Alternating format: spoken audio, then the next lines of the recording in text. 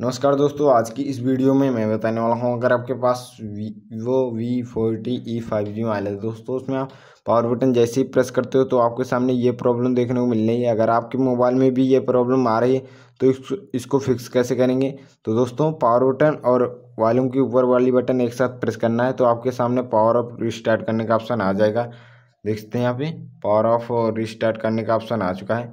और केवल power button से स्विच ऑफ़ करना चाहते हो तो कैसे करना है? आपको यहाँ पे सेटिंग को ओपन कर लेना है। ओपन करने में नीचे की तरफ़ स्क्रॉल करेंगे तो यहाँ पर एक ऑप्शन मिल जाएगा आपको शॉर्टकट एंड एक्सेसिबिलिटी का। तो इस पर क्लिक करेंगे।